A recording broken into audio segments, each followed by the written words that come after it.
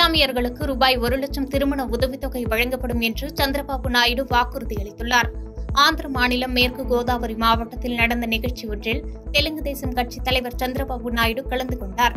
அப்போது உரையாற்றிய அவர் தெலுங்கு தேசம் கட்சி மீண்டும் ஆட்சிக்கு வந்தவுடன் இஸ்லாமியர்களுக்கு திருமண நிதி உதவியாக ரூபாய் ஒரு லட்சம் வழங்கப்படும் என்று உறுதியளித்தார். மேலும் தெலுங்கு தேசம் கட்சி ஆட்சி அமைத்தால் ஐம்பது வயது நிரம்பிய பிற்படுத்தப்பட்ட மக்களுக்கு மாதந்தோறும் ரூபாய் நான்காயிரம் உதவித்தொகை சொந்த தொழில் செய்ய ஐந்து ஆண்டுகளில் ரூபாய் பத்தாயிரம் கோடி நிதி ஒதுக்கப்படும் சந்திரனா பீமா திட்டம் மீண்டும் அமல்படுத்தப்படும் போன்ற வாக்குறுதிகளை அளித்தார். பெங்களூரு குண்டுவெடிப்பு சம்பவம் தொடர்பாக மேலும் இருவர் கைது செய்யப்பட்டனர். பெங்களூருவில் உள்ள ராமேஸ்வரம் கஃபே குண்டுவெடிப்பு வழக்கில் தொடர்புடைய முக்கிய குற்றவாளிகள் இரண்டு பேர் கைது செய்யப்பட்டுள்ளனர். இவர்களை மேற்கு வங்கத்தில் வைத்து போலீசார் கைது செய்ததாக தகவல் வெளியாகியுள்ளது. குண்டுவெடிப்புக்கு பிறகு மேற்கு வங்கத்தில் தலைமறைவாக இருந்த முசாவிர் ஹுசைன் ஷாஜிப் அப்துல் மதின் தாகா ஆகிய இரண்டு பேரை என்ஐஏ கைது செய்தது. முன்னதாக வெடிகுண்டு தயாரிப்பதற்கான தளவாடங்களை சப்ளை செய்த முசாமில் செரிஜப் என்பவர் கடந்த மார்ச் இருபத்தி ஏழாம் தேதி கைது செய்யப்பட்டார். ராமேஸ்வரம் கஃபே குண்டுவெடிப்பு வழக்கில் என்ஐஏ இதுவரை மூன்று பேரை கைது செய்தது குறிப்பிடத்தக்கது.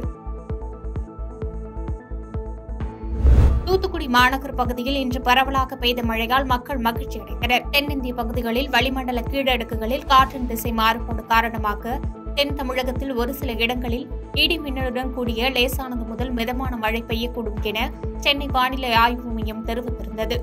அதன்படி தூத்துக்குடி மாநகர் பகுதிகளில் இன்று பரவலாக மழை பெய்தது. இதன் காரணமாக வெப்பம் தணிந்து குளிர் காற்று வீசியது. இதனால் பொதுமக்கள் மகிழ்ச்சி அடைந்தனர். எனினும் உப்பளங்களில் மழைநீர் தேங்குவதால் உப்பு உற்பத்தி பாதிக்கும் நிலை ஏற்பட்டுள்ளதாக உப்பு உற்பத்தியாளர்கள் வேதனை தெரிவித்துள்ளனர்.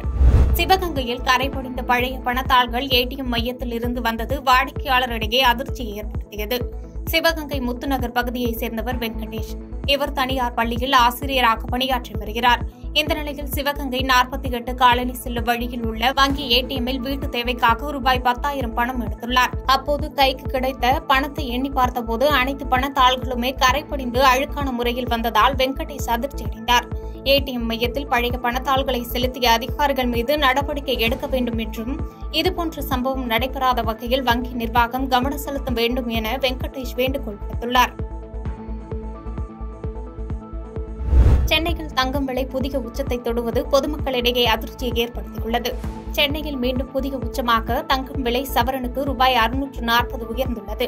ஏப்ரல் மாதம் தொடக்கம் முதல் தங்கம் விலை நாள்தோறும் புதிய உச்சத்தை அடைந்து வருகிறது. கிராமுக்கு ரூபாய் எண்பது உயர்ந்து ரூபாய் ஆறாயிரத்து எண்ணூற்று ஐந்துக்கும் சவரனுக்கு ரூபாய் அறுநூற்று நாற்பது உயர்ந்து ரூபாய் ஐம்பத்தி நான்காயிரத்து நானூற்று நாற்பதுக்கும் விற்பனையாகிறது. அதேபோன்று வெள்ளி கிராமுக்கு ரூபாய் ஒன்று புள்ளி ஐம்பது காசு உயர்ந்து ரூபாய் தொன்னூறுக்கும் ஒரு கிலோ ரூபாய் ஆயிரத்தி ஐநூறு உயர்ந்து விற்பனையாகிறது. பணவீக்கம் உலகளவில் ஏற்பட்டுள்ள பொருளாதார மந்தநிலை உள்ளிட்ட காரணிகளால் வரும் நாட்களில் தங்கும் விலை மேலும் அதிகரிக்கும் என்று எதிர்பார்க்கப்படுகிறது. பாதகம் செய்பவரை கண்டால் நாம் பயங்கொள்ளலாகாது பாப்பா.